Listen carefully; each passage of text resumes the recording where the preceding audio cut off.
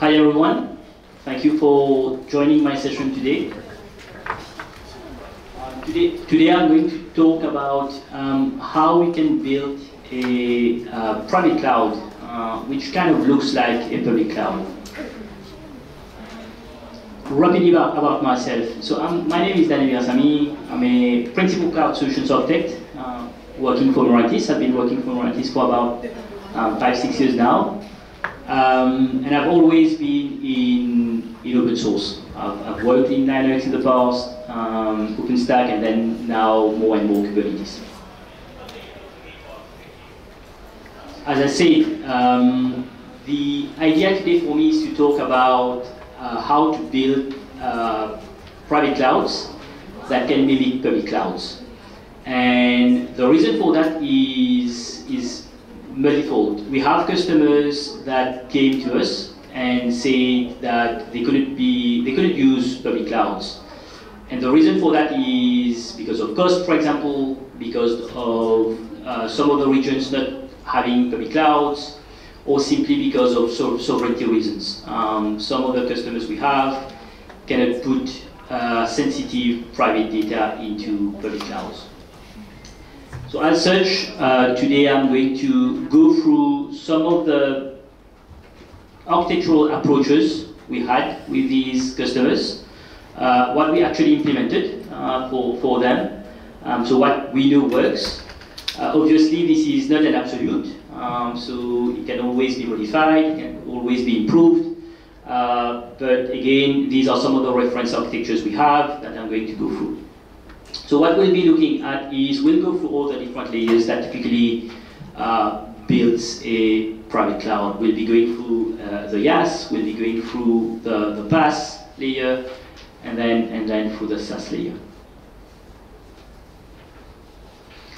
Okay, so back to the basics. As I said, we are going to reuse some of the same names and concepts as, as public cloud, so the well-architected uh, framework, for example.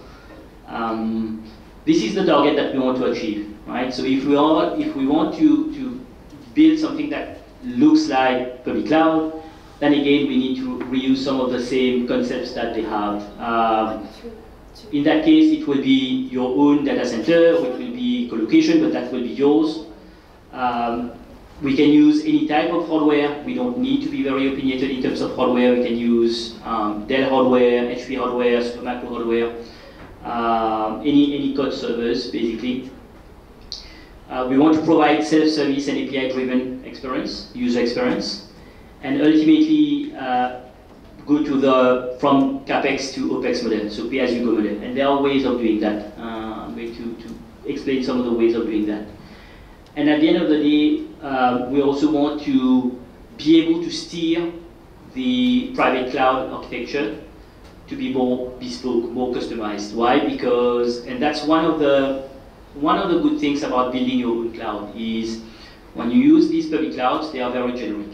You, you have one way of, of consuming these public clouds. They were thought and built by someone else, and you just need, and you can only consume these. When you're building your own, you can make them yours, based on your use cases, based on what you want to achieve, right?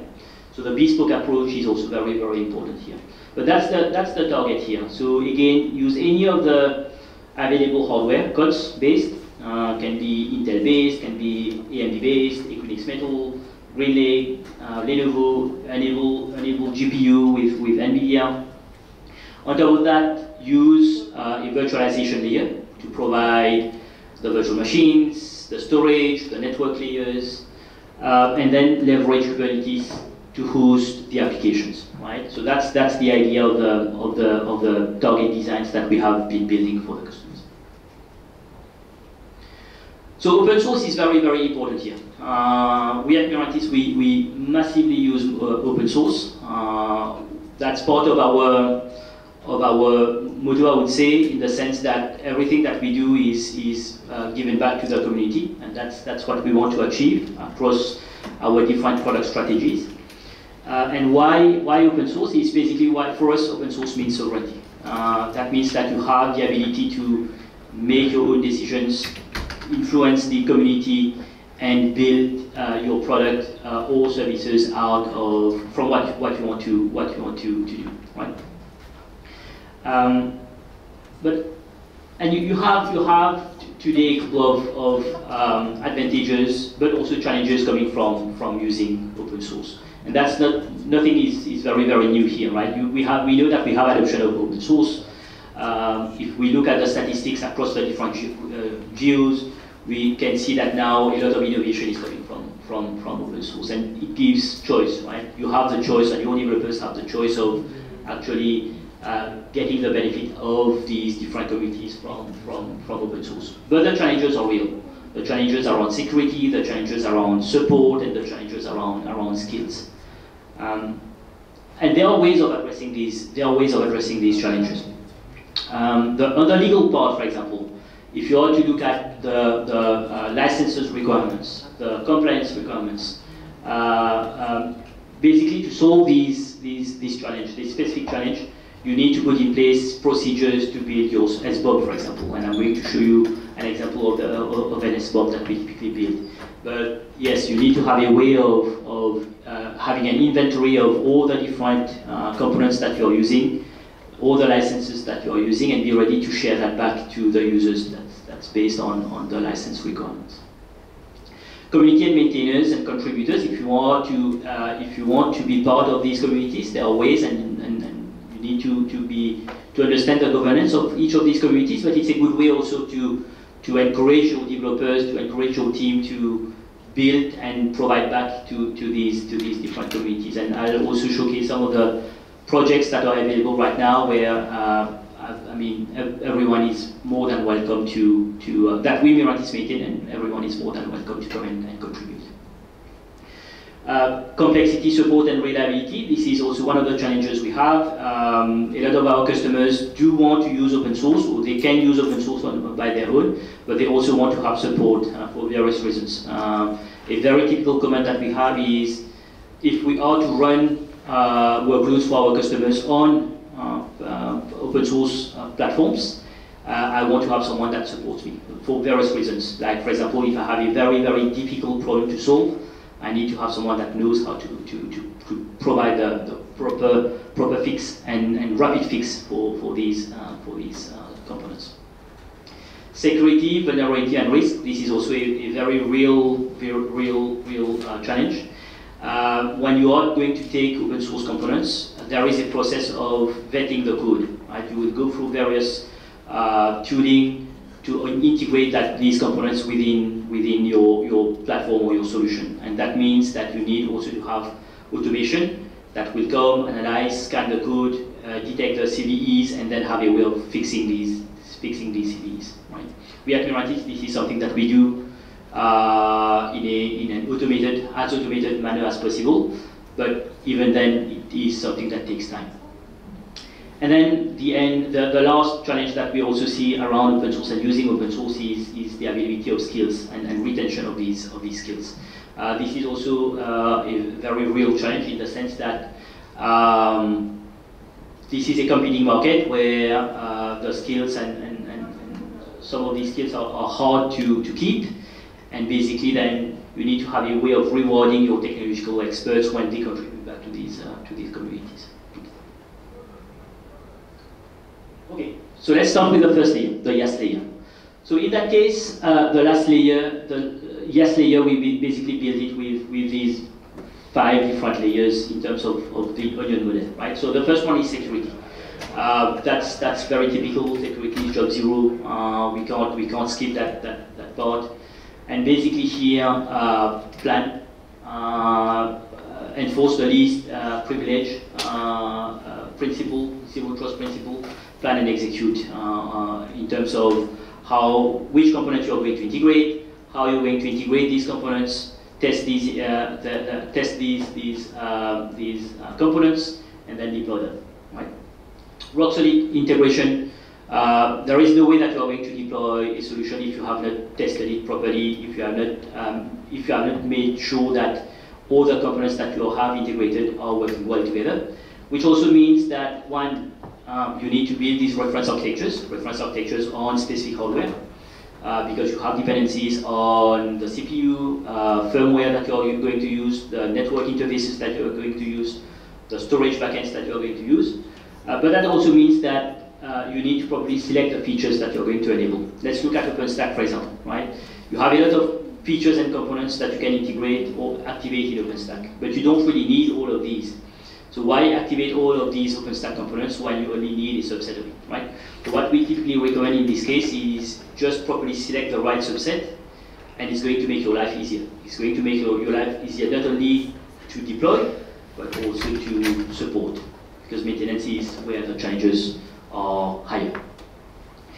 Uh, the right sizing, this is also a, a, challenge that we see very, very, very, very often. And what I mean by right sizing is you have, you have uh, failure domains that needs to be manageable in terms of in terms of um, when the blast radius basically, right? And we have customers that decided to go in uh, a route where instead of having one large OpenStack cluster, for example, they have 20, 30 OpenStack clusters. So in that case, um, you risk, you de-risk or you reduce the risk in terms of where you're going to deploy because you don't have one single platform, you have multiple platforms. So the application owners can decide which platform they, they can deploy, multiple geos, and it just reduces the risk on the infrastructure However, it adds a lot of complexity and pressure on the operator layer because maintaining one cloud versus maintaining 30 clouds it's not the same thing, right? So you need to have the right trade-off where at some point you don't want to have one single platform, but you also don't want to scale out the amount of platforms that you're running simply because it's going to be unmanageable at some point. There are ways of also reducing that with the Bond 4, which is automation and observability. Observability is key because you do need to have to know what is happening on your platform. But in terms of automation also, you, you need to um, enable or use the proper tooling that will automate a lot of these, of these um, lifecycle management of your platform. For example, we at Mirantis, we decided to run OpenStack on Kubernetes. And the main reason we decided to run OpenStack on Kubernetes is to leverage the LCM, uh, the lifecycle, the different operators that we can, we can deploy and develop within Kubernetes. A very simple example is self-healing. We then treat OpenStack as more a cattle than pet. In the past, when we were running OpenStack in VMs or in bare metal, uh, we had to protect each of these components and we, we, we didn't want to have any of these components failing. Now, uh, with OpenStack running Kubernetes, we can, we just don't care, right? So if, for example, any of these services go down, we know that there will be the LCM that will take care of uh, healing these components without having an operator that is in the, the back uh, monitoring these components and making sure that they are running. We just don't look at these services anymore. We know that they are going to run, right? It only means it, when, when something goes wrong, this means a catastrophic failure. And again, we have design patterns to reduce these, these catastrophic failures. And then the last one is, is prepare for disaster. And when I, that, that's what I meant by catastrophic failure, disaster recovery. And in that case, uh, again, uh, you can uh, you need to define your failure domains, whether these are racks, rooms, data centers, and geo data centers, right? Uh, it all depends on your use case and what you want to achieve, but basically in that case, uh, if we are looking at the one of the target uh, um, deployments that, that most of the, our customers look for, which, are, which is um, geo-redundancy. In that case, we have multiple data centers, and here we have two options. Either we deploy dedicated OpenStack clusters in each of these uh, data centers, or we stretch one, data, one OpenStack cluster across the different data centers, right? Both are valid, depending on the use case, uh, but then again, you have restrictions or uh, constraints, depending on the design. Uh, when you deploy different OpenStack clusters on each of these data centers, uh, you have less dependency in terms of latency and bandwidth across these different sites. You can, they can be long distance data centers. But when you, uh, uh, but on the other, other, side, this means that you need to manage three, uh, uh at least three uh, deployments. But when you have one stretch, uh, you have more constraints in terms of latency and bandwidth, but you have only one to manage, right? one, one API endpoint. Um, so out of that, what we did is we built a reference architecture. This is a very, very simple one, right? in, in the sense that Uh, we are running, we are leveraging the Loki principle, so Linux OpenStack Kubernetes infrastructure principle, so all open source. We are, we have an observability stack, which is, uh, which we deploy, uh, and main stack Stacklight. Then we have OpenStack that runs on, top of Kubernetes. We have most, we, our product is for most Kubernetes OpenStack Kubernetes that will run on Kubernetes, which is Kubernetes engine. And out of that, we know that we, from that reference architecture, we can run in less than two weeks, or it can be even less. Um, when we when we fully vetted uh, from hardware up to the deployment of the stack, we were able to reduce the, the, the design and, and, deployment and run to less than four hours. Uh, but the way that we did that, uh, from run, uh, design run and, and, and, deployment in less than, than two hours, that meant that we had full control of hardware to the, the, the software stack, right? So we can reduce that, but typically when we look at uh, customer deployment uh, and where we need to select uh, different different hardware families, then we know that less, less than two weeks you can have something running. And then in terms of upgrades, again, a couple of days, depending again on the scale and uh, what you want to do during these updates. But if you don't want downtime, that means that you're going to live migrate the workloads from one node to another. In that case, it's going to take a little bit more days. But if you are saying that you don't care about downtime of the applications, then in a couple of hours you have your cluster upgraded. You can um, then also uh, increase the capability of your platform uh, for very specific uh, workloads. Here, uh, what we do as part of the IaaS uh, platform is also to leverage GPUs, and we have various ways of providing these GPUs to, to uh, the, the other resources. Uh, either we, we, provide the full GPU, so the, the, the, full physical GPU to the, to the given resource, or we provide a subset of these GPUs, right? So the vGPUs to the, to the, given, to the given platforms. And for that, again, we leverage OpenStack uh, and the Nova scheduler, where we would be able to schedule either GPUs or vGPUs towards the, the VM. We have various ways of then of consuming these. Either we consume them as uh, bare metal machines. Um, in that case, either we use OpenStack or we use bare metal machines, right? If we are to use OpenStack, then it's going to go through the Ironic uh, uh, component. So we would activate Ironic in OpenStack, and then through Ironic, then we would dedicate uh, a full full GPU to the to as a workload to the to the physical machine. But then you can also attribute uh, the GPU to uh, virtual machines. Here you have two ways. Either you use uh, GPU pass-through. So the GPU pass-through is basically we give the full GPU to the, to the virtual machine, or we segment it. Uh, and here we have two ways of doing that. Either the time-sliced GPU or the MIG uh, vGPU, right? So both are supported, um, and in that case, uh, you would have a piece of the of the GPU, so the vGPU, allocated to your to your VM. And if you also want to do that in Kubernetes, and in that case, your VM would be running Kubernetes, so either the VM or the bare metal machine, right? Both cases work. Uh, you will have Kubernetes running in your uh, virtual machine or your bare metal machine, and then in that case, that will be your container pod, your Kubernetes pod, sorry, that will be consuming the, the vGPU resource. Okay. Yeah, rapid, rapid uh, difference between time slice vGPUs and, and MIG GPUs. Uh, now more and more uh, deployments are going towards MIG, but you need to have a proper license compared to time-sliced GPUs. Right? Oh, sorry. Now that we've looked, now that we've looked at the, the uh, platform, um, where you have compute capabilities, network capabilities, storage capabilities, it's a multi-tenant uh, environment, so you can have uh, dedicated tenants for your, for your resources. Um, we want to leverage Kubernetes as the cloud operating system. Uh, and that's the big difference and that the, the big evolution for the past maybe seven years. Uh, when you look at initially how OpenStack operated, uh, a lot of the, of the projects like Sahara, Murano, um, were focused into addressing the application uh, reals. Uh, now we don't really do that anymore in OpenStack. We really use OpenStack for what it, it's made for, the IaaS piece, but we do leverage Kubernetes for the application piece, right? And the, uh, we do leverage Kubernetes to do the link between the IaaS and the application.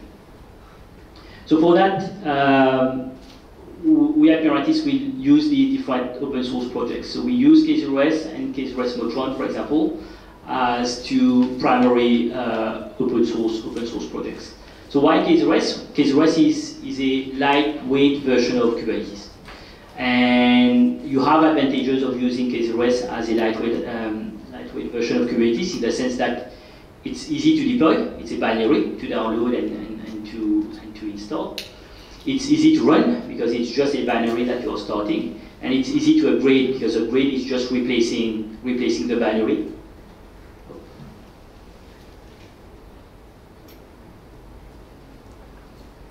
Uh, it's just the upgrade is just replacing a binary from a given from a given uh, version to another version, right? So it is uh, very easy to deploy and, and, and maintain.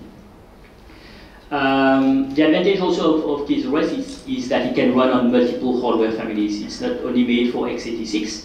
You can run it on ARM, and there are plans to make it run also on RISC, RISC-V.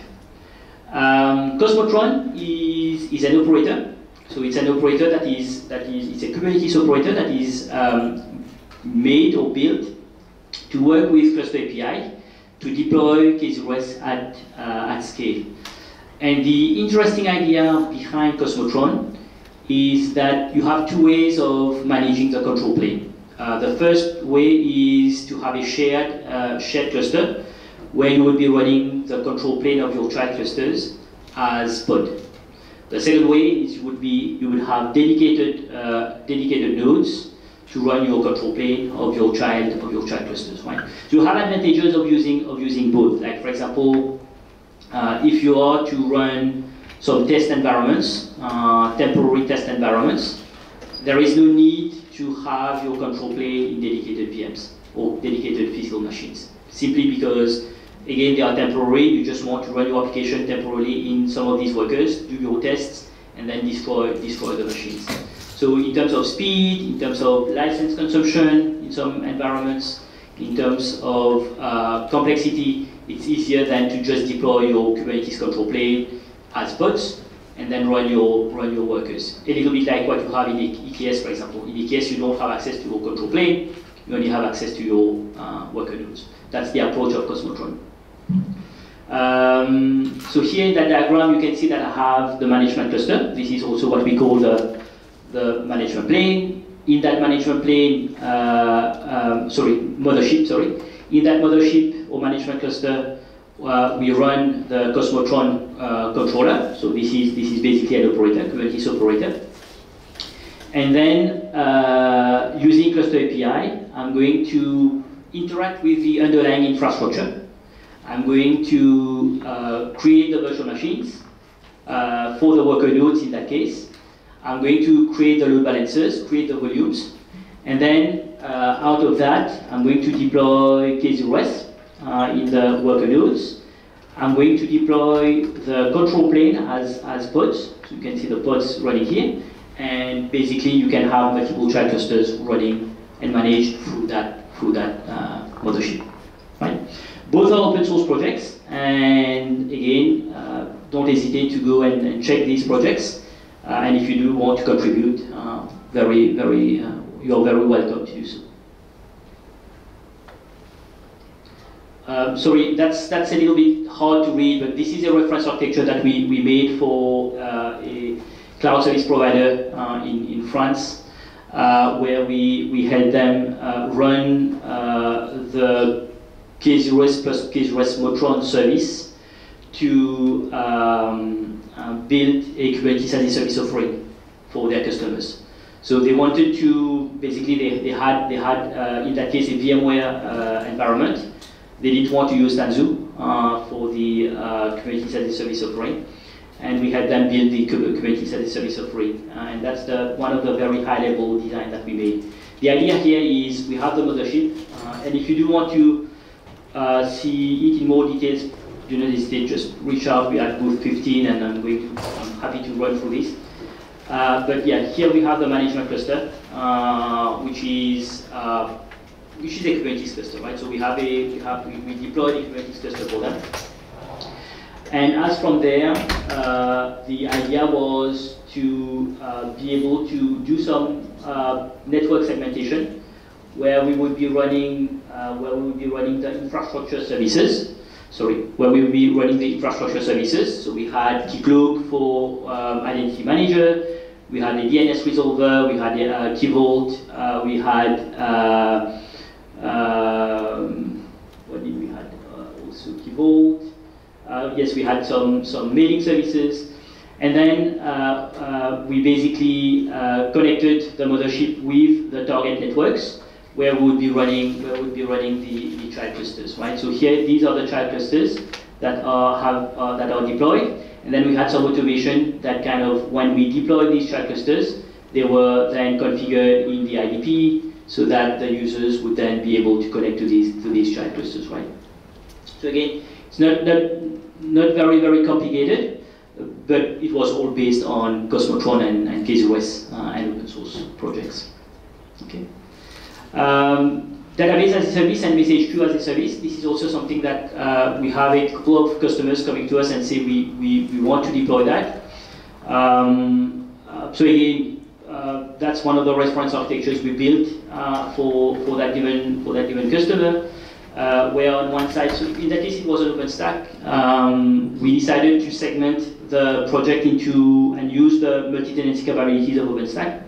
So we had one tenant for the object storage, and we deployed Minio in that case. So we ran Kubernetes and we uh, deployed Minio within these Kubernetes clusters to run to run object storage. Uh, we had uh, another tenant uh, where we would be running the database as a service offering, and that we partnered with uh, Pure Storage Portworx uh, to do that. so we leveraged Portworx to do that. And then the customer had its own Kubernetes clusters within its own tenant. And basically, uh, through the APIs of Portworx, uh, we deployed the different, or they had the ability to deploy themselves, self-service approach. They had the ability to deploy uh, various types of various types of databases. Just rapidly, can rapidly show you. So this is the this is the the Portworx the Portworx UI.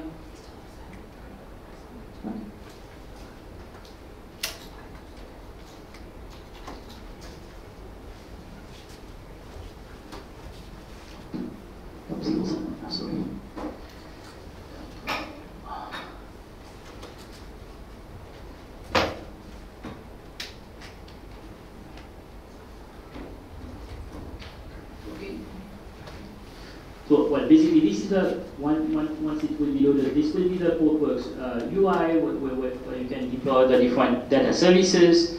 Um, I have attached it to a Kubernetes cluster in OpenStack, so the my Kubernetes cluster is running here. I have like these six machines, three controllers, three, three workers running in, in, in OpenStack. And what I did is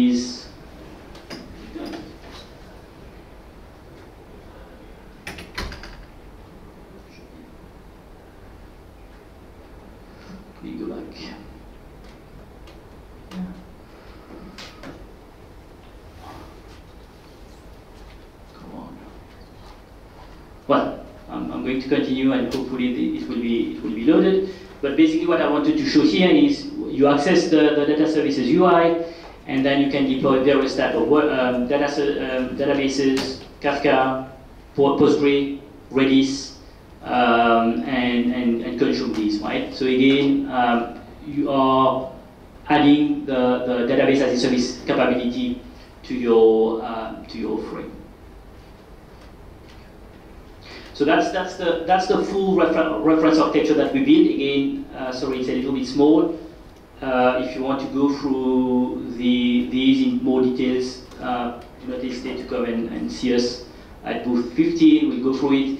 But yeah, I just wanted to show that we do have a lot of services in OpenStack actually, right? That we, we can leverage uh, from the Nova services, from uh, the Manila services, we also uh, can use Octavia services, etc. So Neutron services. We do have a lot of services in OpenStack that that um, that you can leverage to to start using to start using uh, database as a service, right? The only thing that we added on top of that is Kubernetes and Portworx to give you the, the capability to use database as a service. But a lot of it also comes from, from, from OpenStack. Um, SaaS, so now that we've talked about IaaS, we've talked about the PaaS layer, and the PaaS layer is basically Kubernetes, where we start to put in uh, as much uh, or as many open source projects as possible.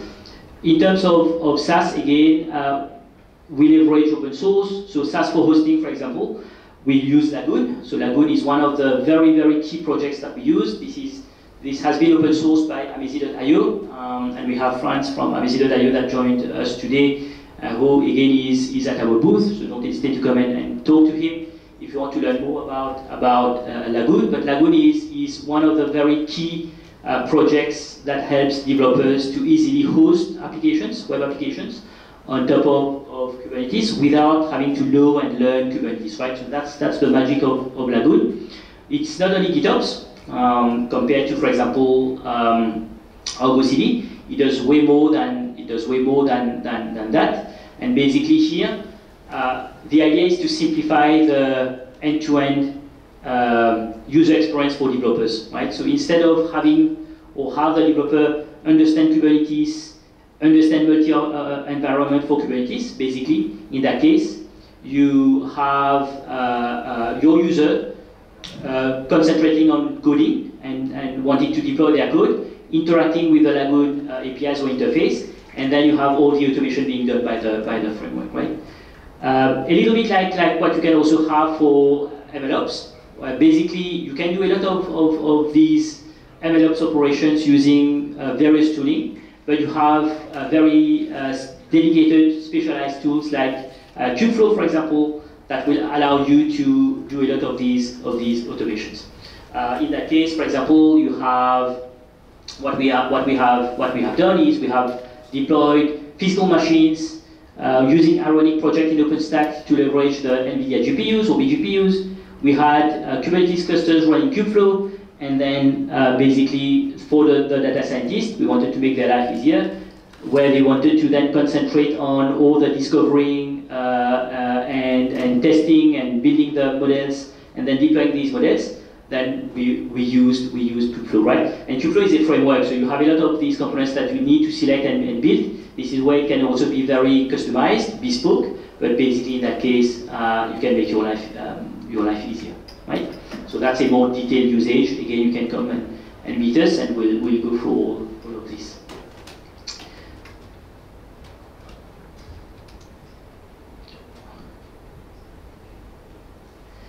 So just as a summary, um, what I wanted to say is that yes, OpenStack is, is, is great, but it's great at what it's made for. Right? It's don't use OpenStack or try to use OpenStack for what it's not made for. So use it uh, for IaaS purposes, select the right uh, features or, uh, or, components and, and, and integrate it properly.